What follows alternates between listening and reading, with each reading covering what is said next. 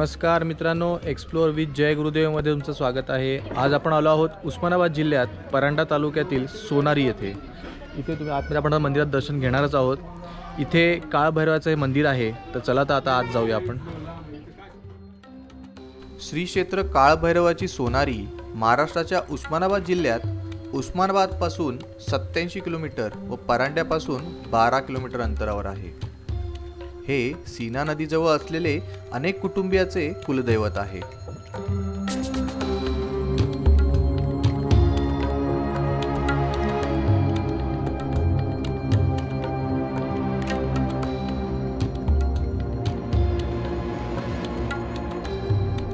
आपण आता मंदिराचं दर्शन घेणार आहोत. त्याच्या आधी तुम्हाला इथे कुंड आहे ते दाखवायचं आहे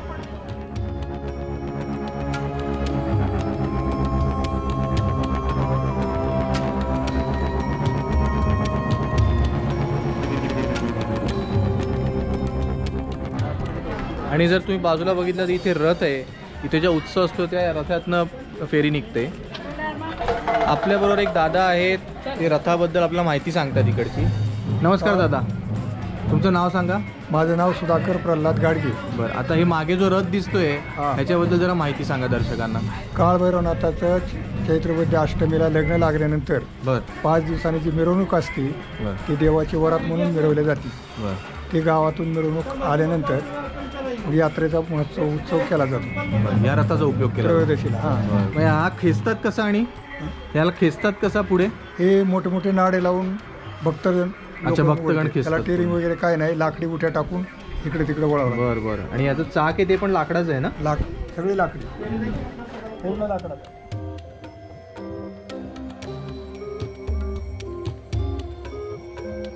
धन्यवाद दादा माहितीबद्दल.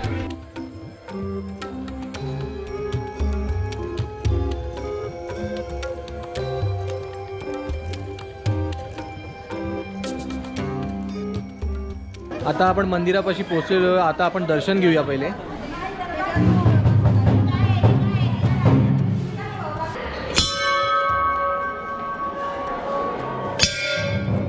हे मंदिर हेमाडपंथी दहाव्या शतकातील असावे.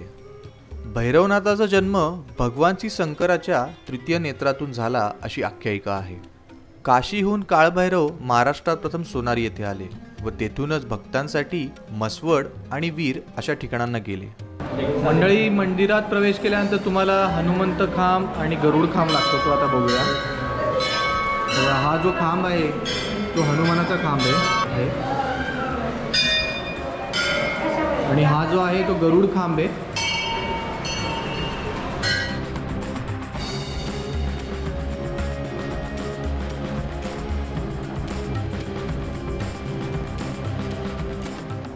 मंडळी आता आपण गाभाऱ्यामध्ये इथे आहोत आणि आपल्याबरोबर गुरुजी आहेत. ते आपल्या याच्याबद्दल माहिती सांगतायत. नमस्कार. अ, माझं नाव आहे मयूर पुजारी आणि आम्ही जे इथं पूजा करतो ही आमची तेरावी पिढी चालू आहे. ते काळभैरव म्हणजे शिवाचे अवतार महादेवाचे अवतार. तर पूर्वी ही दक्षिणेकडचं क्षेत्र आहे. याला पूर्वी सुवर्णपुरी म्हणलं जायचं. कारण त्यावेळेस या राज्यामध्ये या ठिकाणी सुवर्णसूर हा राक्षस राहत होता. त्या राक्षसामुळे या गावाचं नाव होतं सुवर्णपुरी. ते अपभ्रंश सोनारी झालं. आणि त्या राक्षसाला मारण्याकरता महादेवानी मस्तकावरचा तिसरा डोळा उघडला.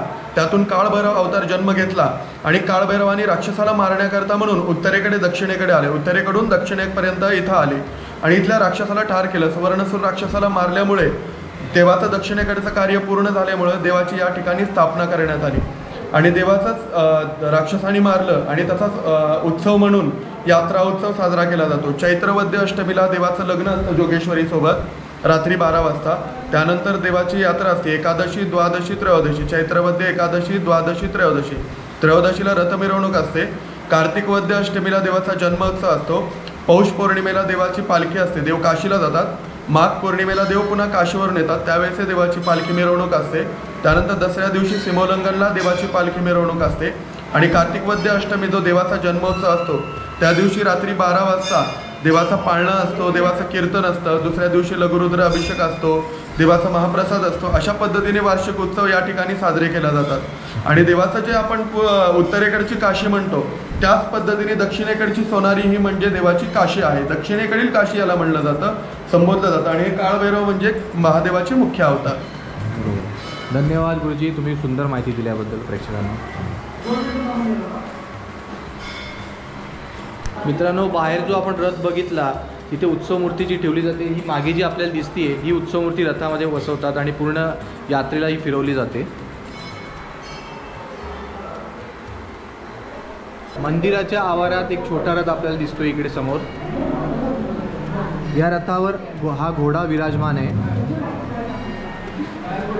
ज्यावेळेस यात्रा असते त्यावेळेस हा घोडा पुढे असतो आणि मागे जो मोठा आपण रथ बघितला तो मागे असतो. मंदिराच्या समोर. त्याच्या आधी इथे एवढं मोठं कासव आहे.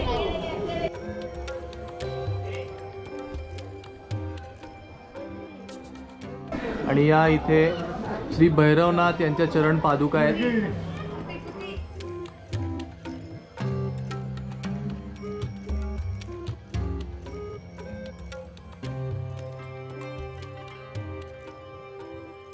तर सुंदर असं मंदिर आहे. तर आता चला मग मंदिराला आपण प्रदक्षिणा मारूया.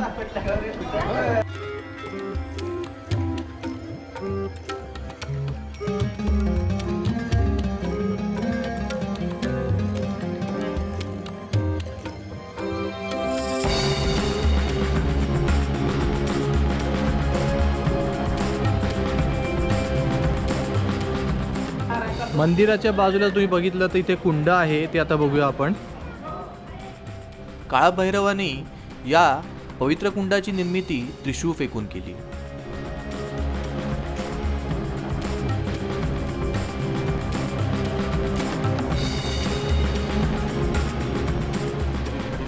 काळाभैरवाच्या चरणाशी व मंदिराच्या कळसावर गुलाल खोबरं उधळण्याची पद्धत आहे. कितीही मोठं संकट असलं तरी काळाभैरवाचा गुलाल जवळ असल्यास संकट परतवून लावण्याचं बळ या गुलालात आहे अशी भक्तांची श्रद्धा आहे. मंदिराच्या बाजूला एक गादी आहे. गादीच्या खाली आपल्याला इथे दिसतंय भद्रकाली देवी मंदिर आहे. तर पहिले आपण मंदिरात जाऊन येऊया. आणि मग इथे महंत बसले त्यांच्याकडनं थोडीशी माहिती जाणून घेऊया. त्याच्या आधी आपण खाली दर्शन करून घेऊया.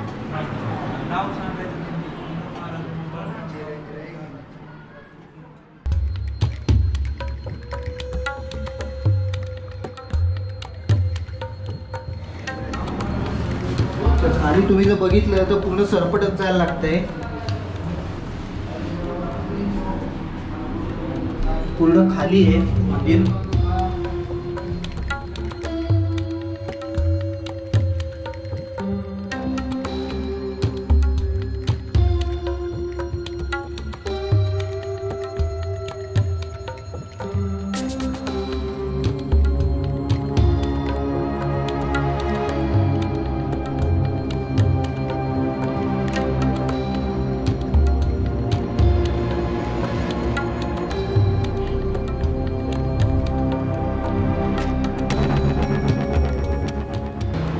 असं देवीचं मंदिर आहे. आता पहिले आपण वर जाऊया.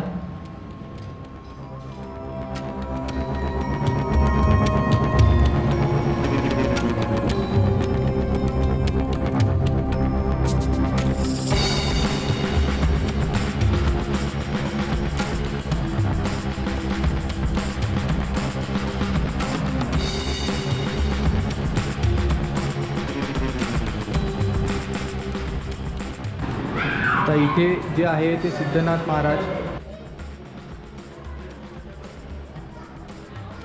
ह्याच्या बाजूला जे महंत आहेत त्यांना आता आपण भेटूया. नमस्कार जी. आपका नाम बता दीजिए. वीर योगी श्यामनाथ महाराज. ओके अभी ये जो गादी है ये जो आसन है उसका महत्व आप बता दीजिए. हे नाशिक कुंभमेळ्याची निवडणूक होती. बारा वर्षांनी दरवर्षी हे कुंभमेळ्यामधून साधू बदली होत आहे दर साधु बदली होता है अच्छा। हर बारह साल के बाद ये निवडणूक होती हाँ। है नासिक कुंभ में। ओके। ये बाल ब्रह्मचारी गादी है। अच्छा। और नासिक कुंभमेळ्या के आखाडे द्वारे गादी है। अच्छा। तर कुंभमेळ्यातनं इथे साधू जे निवडून येतात त्यातले बरेचसे साधू इथे त्यांनी जिवंत समाधी घेतलेली आहे. तर पाचशे वर्षापूर्वीचे हे साधू आहेत ते आता बघूया याची समाधी आहे तिथे. तेव्हा प्रत्येक इथे एवढ्या समाध्या आहेत. सहा समाध्या दिसत आहेत त्यातले ही समाधीमध्ये प्रत्येकाची अशी नावं लिहिलेली आहेत. प्यारेनाथजी महाराज ब्रह्मनाथजी महाराज शिवनाथजी महाराज राजेनाथजी महाराज समनाथजी महाराज श्यामनाथजी महाराज. आणि मध्ये महादेवाचं पिंड आहे. अतिशय सुंदर जागा आहे. तुम्ही सगळ्यांनी इथे नक्की व्हिजिट करायला पाहिजे. कारण जबरदस्त व्हायब्रेशन्स आहेत इकडे. पॉझिटिव्ह व्हायब्रेशन्स मी स्वतः फील करू शकतो ते बाजूला जे आपल्याला मागे दिसत आहे सगळ्यांना माहीत असलेले गोरक्षनाथ महाराज.